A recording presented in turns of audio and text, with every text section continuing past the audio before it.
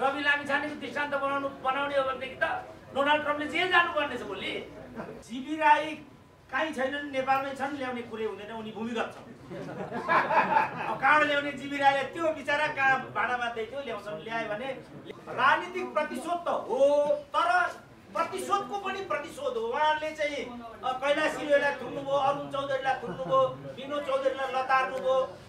अर्को हाम्रो कमरेड थियो नि एकजना अर्को कमरेड के अरे? कृष्णबहादुर कमरेडलाई लगेर थुन्नुभयो। अनि त्यो प्रतिशोध थियो भने यो पनि प्रतिशोध थियो। हो। त्यो प्रतिशोध होइन भनेदेखि यो पनि प्रतिशोध होइन। जस्तो अर्को एउटा प्रसङ्ग नि यो एउटा भ्लगर छन् नि रतन कार्कीलाई ल्याउन चाहिँ इन्टरपोल लाउन सक्ने सरकारले जिबी राईलाई ल्याउन चाहिँ किन नसकेको होला किन त्यो सुरसार नगरेको होला? यति साह्रो लाचार सरकारलाई तपाईँको भनाइ के छ? अब बालेन शाहलाई ईर्ष्या गर्छन्। बालेनको एउटा कुरा भनेर म सक्छु। म हाम्रो चेतन कार्कीको छयासीौँ जन्म जयन्तीमा वक्ता थिएँ। मलाई यता आउन हतार थियो। डायबिटिजको पेसेन्ट भएको हुनाले भोक लागिसकेको थियो। ऋषि धमलाको मञ्चमा खडा हुन सकिनँ भने बेजे तोला भनेर अलिकति क्यालोरी पनि पेटमा डाल्नु पर्ने थियो हत्तनपत्त खाजाको पोको लिएर पठाएका थिएँ। मोटरसाइकलको ब्यागमा त्यो खाजा खाँदै आउँदै थिएँ। खिरको एउटा प्याकेट रहेछ। त्यो फुकाएँ यसो हेरेँ गोजीमा हाल्नु भन्ने त लागेको थियो। अब खिर टाँसेको थियो गोजीमा कता हाल्ने भनेर फुत्त भुइँमा फाल्ने पछाडि पछाडि बाइकमा एउटा युवा आउँदै रहेछ। बाजे बाजे भन्यो। मैले यसो हेरेँ। बाजे त्यहाँ किन फोहोर फाल्नुहोस् त्यहाँ फोहोर फाल्नु फोहोर नफाल्नुहोस् भन्यो। स्तब्ध भएँ म। वास्तवमा हेर्दा हेर्दै काठमाडौँ फोहोर फाल्ने लायक रहेन नि त अब। सभा भयो नि त यति आँखाको गाडी। यो सही अब ल हेर्नुहोस्। अब साथीहरू बालनको कुरा गरौँ कि हर्क साम्बाङको कुरा गरौँ कि कसैले राम्रो कुरा गऱ्यो भने राम्रो कुरा अब निश्चल पाण्डेले आज त राम्रो बोल्यो भने कि रिसाइहाल्छ कस्तो बटाएर चाहिँ बोल्नै जान्दो रहेछ भनिदियो भने तारिफ हुन्छ यसरी हुँदैन। कोहीसँग पनि कोहीसँग पनि क्वालिटी छ भने त्यसलाई प्रवर्धन गर्नुपर्छ। बदलिँदो हावाको रुखलाई हामीले पक्र्न सक्यौँ भने मात्रै हामीले भोलिको विश्वमा र भोलिको भविष्यलाई सुनिश्चित गराउन सक्छौँ। डोनाल्ड ट्रम्प मात्रै अमेरिकाको यस्तो राष्ट्रपति हो जसले भरे के गर्छ र भोलि के गर्छ भन्ने कुरा अनुमान गर्न सकिँदैन। त्यसकारण दुई हजार पच्चिस इस्वी भनेको विश्वको लागि डिस्ट्रक्टिभ हुनेछ भनेर। किनभने रिपब्लिकन पार्टी भनेको वार मोङ्गर पार्टी हो। डेमोक्रेटिक पार्टी भनेको एन्टी वार पार्टी हो। तर अहिले ठ्याक्कै उल्टो भएको छ। रिपब्लिकन पार्टी शान्तिवादी ब्यानरमा आइराखेको छ। डेमोक्रेटिक पार्टीले विश्वमा युद्धको चाहिँ वकालत गरिराखेको स्थिति छ भनेपछि अमेरिकी समाज पनि नेपालकै जस्तो सङ्क्रमण कालमा छ। भोलि के हुने हो भरे के हुने हो कसरी जानुपर्ने हो भन्ने विषयमा पनि अमेरिकी राजनीति डिबेट गर्दै गरेको भन्ने देखिन्छ। यतिका चुनौतीहरूको बिचमा डोनाल्ड ट्रम्पको त्यहाँ विजय भइराखेको छ। जस्तो अहिले यहाँ अब नेपालीहरूलाई त एउटा भिसा भयो भने पुगिहाल्छ एउटा टिभी भयो भने भइहाल्छ। आठ हजार नेपालीले फर्केर यहाँ आउनुपर्छ भन्ने कुरा उनीहरू रोदन गर्छ। नेपालीहरूलाई तात्विक रूपमा फरक पार्दैन। टिभी पनि कन्टिन्यू हुन्छ उनीहरूले फ्रस्ट्रेट भइरहनु पर्दैन। किनभने उतापट्टिको जुन मेक्सिकोपट्टिको जुन बोर्डर हो त्यो बोर्डरले ठेलन ठेलासम्मको स्थिति त्यहाँ हुन थाल्यो र नेपालको जस्तो पुलिसको स्थिति अमेरिकामा पनि भइसक्यो। एकैचोटि जबरजस्ती दस हजार मानिसहरू त्यहाँबाट ठेलम ठेल गरेर अमेरिकाभित्र पसिसकेपछि यो अमेरिकी सुरक्षाको लागि थ्रेट हो। यो कुरालाई म्यानेज गर्न नसकेको हुनाले हाम्रो जो जो बाइडेन थिए उनी त बोल्दा बोल्दै म को हुँ भन्ने पनि बिर्सिन थालेका थिए। त्यस्ता नेता त नेपालमा मात्रै फिट हुने हो। आश्चर्य लाग्यो अमेरिकैमा त्यस्तो नेता भइदियो। अनि डेमोक्रेटिक पार्टीले हार्नुको त विकल्पै थिएन नि त। त्यसमा महिला उम्मेदवार उनीहरूले बनाए। अर्को मिसेस ओबामालाई मात्रै उनीहरूले अगाडि बढाइदिएको भए पनि अर्कै हुन्थ्यो। मेल त्यहाँ कम्पिटिटर आइदिएको भए त डोनाल्ड ट्रम्पलाई जित्न त्यति सजिलो थिएन। भनेपछि नेपालकै जस्तो कुरा रहेछ अमेरिकामा पनि। नेपालको जस्तो बुद्धिले कहाँ अमेरिका चल्न सम्भव हुन्छ? नेपाल जस्तो मुलुक त नेपालीले पनि चलाउन सक्छन्। अमेरिका जस्तो मुलुकलाई नेपाली जस्तो बुद्धिले चलाउन सम्भव हुँदैन। डोनाल्ड ट्रम्प त्यसको एउटा इक्जाम्पल हो। किनभने काहीँ पनि उनको लोकप्रियता छैन। तर उनले मलाई लाग्छ इतिहासमै सबभन्दा राम्रो जितबाजी होला। Twenty electoral vote two hundred twenty seven र टु हन्ड्रेड सेभेन्टी नाइन भनेपछि त कत्रो फासला दुई तिन इलेक्ट्रोनले हार्जित हुन्छ भन्दै यहाँका मान्छेहरू। एघार प्रतिशत तपाईँ जस्तो मिडियाहरू मध्ये एघार प्रतिशतको मात्रै डोनाल्ड ट्रम्पलाई सपोर्ट थियो। बाँकी सेन पर्सेन्ट चाहिँ हेरिसको पक्षमा थिए। खै त? मिडियाले पनि काम गरेन। सिएनएन जस्तो मिडिया त्यहाँ लागिराखेको थियो बिबिसी त्यहाँ लागिराखेको थियो कसैको पनि केही जोर चलेन भनेपछि हावाको रुख अर्कै छ। तर यत्रो चुनौतीलाई कसरी सामना गर्ने डोनाल्ड ट्रम्पले यो महत्त्वपूर्ण कुरा हो। अब हाम्रो नेपालीको त एकचोटि आयो भने के हुन्छ आएनन् भने के हुन्छ भन्ने कुरा मैले लेख्दा प्राविधिक हो। सी जिनपिङ यहाँ आउँदाखेरि पनि सी जिनपिङ आएपछि हामीले के के मात्रै भनेनौँ सबैलाई थाहा छ। सी जिनपिङ भारतको भ्रमण आएका थिए। बाहिर वे नेपालमा आएर एक रात रोकिने र यहाँबाट उता जाने भन्ने कुरामा हामीहरू आह्लादी थियौँ। मलाई थाहा छैन त्यो भ्रमणले हामीलाई के दियो भनेर।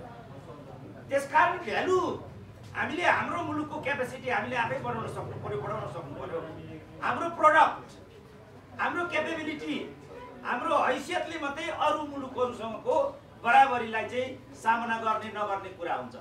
जस्तो सार्कको कुरा थियो राजाको पारामा सार्कलाई पनि क्यास गरिएको थियो नन एलाइनमेन्ट थियो त्यसलाई पनि क्यास गरिएको थियो युएन थियो त्यसलाई पनि क्यास गरिएको थियो। अब अहिले हामी केही पनि क्यास गर्न सक्दैनौँ। नन एलाइनमेन्ट निष्क्रिय भएर गयो। सार्कको त चेयरम्यानमा लाग्छ। अहिले पनि नेपालले होला। उहाँ सार्कमा पिएचडी हुनुहुन्छ। अहिले अब सार्क सार्कको त यहाँ। सार्क यति टाढा कि पाकिस्तानको प्रधानमन्त्री र इन्डियाको प्रधानमन्त्रीलाई हाम्रो प्रधानमन्त्रीले हात यताको हात र उताको हात गरेर हात मिलाइदिनु पर्यो। त्यसलाई नै सबभन्दा ठुलो सफलता मान्यो। अवस्था यस्तो छ। दुईटा प्रधानमन्त्रीले हात मिलाउनु नै सबभन्दा ठुलो सफलता कुटनीति कहाँ आएको छ त? अहिलेको विश्वमा। तर हाम्रो कन्ट्रास्ट के छ भने मैले आज एउटा माओवादी गुरिल्लासँग भेट भएको थियो। त्यो गुरिल्लाले भनेको थियो तिमीले शासन गर्नु कति वर्ष भयो नेपालमा भन्दा? सत्र अठार वर्ष। तिमीले एउटा अर्थमन्त्री विकास गरेको भए त्यो अर्थमन्त्री को हो? एउटा परराष्ट्र मन्त्री विकास गरेको भए त्यो परराष्ट्र मन्त्री को हो? एउटा राजदूत राम्रो राजदूत विकास गरेको भए त्यो राजदूत को हो भन्दा गुरिल्लाको यत्रो यस्तो भयो। अब कहाँबाट यसबाट त हुन्छ? राजाले त एक सय घडघडान मान्छेहरूलाई अर्थविदहरूलाई हर्ष बहादुर था भेगबहादुर थापालाई अमेरिकामा लिएर आए। कलाविद लेन्सिन माग्नेलाई युकेबाट लिएर आए। राम्रो गीत गाउने अमर गुरुङलाई दार्जिलिङबाट लिएर आए। राम्रो इतिहासवाद सुरविक्रम जिवालीलाई दार्जिलिङबाट लिएर आए। तब न हाम्रो देशले अलिकति पूर्वाधार पायो। त्यो भन्ने बित्तिकै गोपालजीहरू यहाँ हुनुहुन्छ प्रतिगामी भन्नुहुन्छ ठोकिहाल्नुहुन्छ। देशको लागि सर्भिस गर्नु भने प्रतिगामी होस् कि क्रान्तिकारी होस् कत्रा कत्रा क्रान्तिकारीहरू पनि त हामीले देखिहाल्यौँ। आखिर यो यो यो ऋषि धमलावाला यो यो सडक कतिचोटि भने त हेर यो यो सडकको स्थिति। बनाइदिने मान्छे खोलिरहेको छु अफिसहरू त यहाँ हेर्नु त यो रिपोर्ट अफिस गर्ने त्यहाँ छ हेर्नु त ल यहाँ विदेशी पाहुना आउँछन् म टोइलेट गएँ कस्तो छ त्यहाँ छब्बिस वर्ष त्यहाँ कुनै दलले केही सहयोग गर्दैन त्यस्तो छ त्यस कारणले हाम्रो त यसबाट लेभल देखिन्छ नि त हामीलाई यो स्थितिमा सुधार्नु पर्यो अब बालेन शाहलाई ईर्ष्या गर्छन् बालेनको एउटा कुरा भनेर म सक्छु म हाम्रो चेतन काकीको छयासीौँ जन्म जयन्तीमा वक्ता थिएँ। मलाई यता आउन हतार थियो। डायबिटिजको पेसेन्ट भएको हुनाले भोक लागिसकेको थियो। ऋषि धमलाको मञ्चमा खडा हुन सकिनँ भने बेजे तोला भनेर अलिकति क्यालोरी पनि पेटमा डाल्नु पर्ने थियो हत्तनपत्त खाजाको पोको लिएर पठाएका थिएँ। मोटरसाइकलको ब्यागमा त्यो खाजा खाँदै आउँदै थिएँ। खिरको एउटा प्याकेट रहेछ। त्यो फुकाएँ। यसो हेरेँ गोजीमा हाल्नु भन्ने त लागेको थियो। अब खिर टाँसेको थियो गोजीमा कता हाल्ने भनेर फुत्त भुइँमा फाल्थेँ। पछाडि पछाडि बाइकमा एउटा युवा आउँदै रहेछ बाजे बाजे भन्यो। मैले यसो हेरेँ। बाजे त्यहाँ किन फोहोर फाल्नुहोस् त्यहाँ फोहोर फाल्नु फोहोर नफाल्नुहोस् भन्यो। स्तब्ध भएँ म। वास्तवमा हेर्दा हेर्दै काठमाडौँ फोहोर फाल्ने लायक रहेन नि त अब। सभा भयो नि त काठ यति आँखाको गाडी। यो सही अब ल अब साथीहरू बालनको कुरा गरौँ कि हर्क साम्बाको कुरा गरौँ कि कसैले राम्रो कुरा गऱ्यो भने राम्रो कुरा अब निश्चल पाण्डेले आज त राम्रो बोल्यो भने कि रिसाइहाल्छ कस्तो बटाएर चाहिँ बोल्नै जान्दो रहेछ भनिदियो भने तारिफ यसैले हुँदैन।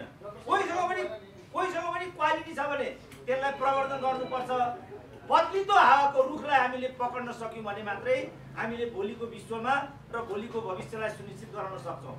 डोनाल्ड ट्रम्पको विजय भनेको अमेरिकी समाजमा देखा परेको जुन सङ्क्रमण थियो र अक्षम जो नेतृत्व थियो त्यहाँ त्यो अक्षम नेतृत्वलाई चुनौती दिएको घटनाको रूपमा हामीले बुझ्नु पर्दछ र हामीले यहाँ उनलाई ल्याउने यहाँबाट के हुन्छ कसो हुन्छ भन्नु पर्दा पनि अक्षम अक्षमताको नतिजा के हुँदो रहेछ? त्यो शिक्षा त्यहाँबाट लिनुपर्छ र सक्षम नेतृत्व विकास गर्नेतिर लागेर हामीले हाम्रो देशलाई पनि आत्मनिर्भर बनाउँदै कसैतिर नहेरिकन आफैतिर हेरेर यसलाई विकास गर्ने र बनाउने सुशासन र समृद्धिमा जाने घटनाको रूपमा डोनाल्ड ट्रम्पको विजयलाई लियौँ भनेदेखि त्यसको अर्थ हुन्छ बाँकी र सब आत्मरति हुन्छ। अब भनिहाल्नु नि निश्चलजीले एउटा सरकार आउँछ सबभन्दा पहिलो प्रहार राजदूतलाई हुन्छ। अनि ती राजदूतहरू फर्केर यहाँ आउँछन्। ती फर्केर नआउँदै त्यो- सरकार पनि गइसक्छ।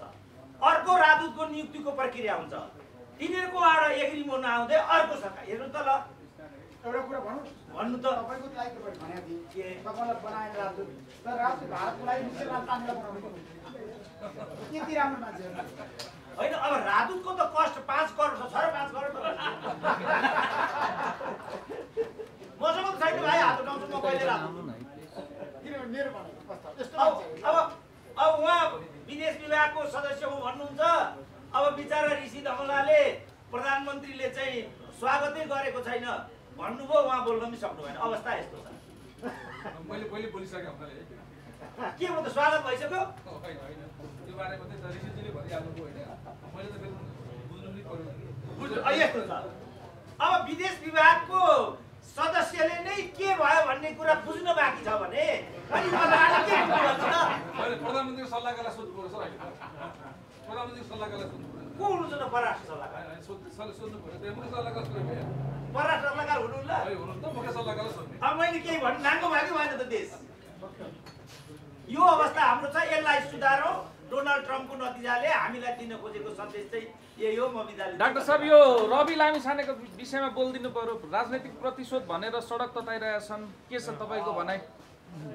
राजनीतिक प्रतिशोध त हो तर प्रतिशोधको पनि प्रतिशोध हो। उहाँहरूले चाहिँ कैलाश सिंहलाई थुन्नुभयो अरुण चौधरीलाई थुन्नुभयो विनोद चौधरीलाई लतार्नुभयो। अर्को हाम्रो कमरेड थियो नि एकजना अर्को कमरेड के अरे? कृष्णबहादुर कमरेडलाई लगेर थुन्नुभयो। अनि त्यो प्रतिशोध थियो भने यो पनि प्रतिशोध थियो हो। त्यो प्रतिशोध होइन भनेदेखि यो पनि प्रतिशोध होइन। जस्तो अर्को एउटा प्रसङ्ग नि यो एउटा भ्लगर छन् नि रतन कार्कीलाई ल्याउन चाहिँ इन्टरपोल लाउन सर सक्ने सरकारले। जिबी राईलाई ल्याउन चाहिँ किन नसकेको होला किन त्यो सुरसार नगरेको होला? यति साह्रो लाचार सरकारलाई तपाईँको भनाइ के छ? सिबी राई कहीँ छैनन् नेपालमै छन् ल्याउने कुरै हुँदैन उनी भूमिगत छन्। कहाँबाट ल्याउने जिबी राईले त्यो बिचरा कहाँ भाडा बाँध्दै थियो ल्याउँछन् ल्यायो भने ल्याउँछन् होला मैले त पहिल्यै भनेको हामीले सामाजिक सञ्जाललाई पनि दुरुपयोग नगरौँ। यसलाई सदुपयोग मात्रै गरौँ। यहाँ यतिका चाहिँ सोसियल मिडियाका साथीहरू छन् टिभी त बिरेलर भए पनि ऋषि तपाईँको प्राइम टिभी होला। अर्को त कुनै टिभी यहाँ छैन। यत्रो मौका दिने यसलाई पनि हामीले दुरुपयोग गऱ्यौँ भने भोलि कहाँ जाने त? हाम्रो निश्चल पाण्डेजी हुनुहुन्छ यत्रो राम्रो ज्ञान राख्नुहुन्छ। नेपालका मुख्य मिडियामा त मलाई जस्तो उहाँलाई नै पनि दिनुपर्ने स्थान दिए भन्ने कुरा म पत्याउँदिनँ। दिएको छ कसैले भने त यिनैले दिएको छ। तर यसलाई पनि हामीले दुरुपयोग गऱ्यौँ भने हामी भोलि कहाँ जाने त म भन्दै आएको थिएँ भन्दै आएको थिएँ भन्दै आएको थिएँ। यो पछिल्लो दृष्टान्त चाहिँ पछिल्लो दृष्टान्त मात्रै हो। उहाँले जे बोल्नु भएको थियो उदाहरणको लागि केपी ओलीले टिकटक खुल्ला गरिदिनु भयो। त्यसको पहिलो एपिसोड चाहिँ केपी केपी ओलीले नाङ्गो बनाएर प्रदर्शन गरियो। भने त किन त्यसलाई खुल्ला गर्ने भन्ने कुरा त त्यहाँ आइहाल्यो। त्यस कारण दुरुपयोग नगरौँ यसलाई सदुपयोग गरौँ। त्यसले मात्रै त्यस्तो घटना हुनुबाट रोक्छ। होइन भने हामीहरू फस्दै जान्छौँ फस्दै जान्छौँ र अन्त्यमा सकिन्छौँ। धन्यवाद। अब रिपोर्टर्स कलको कुरा आयो। मैले आज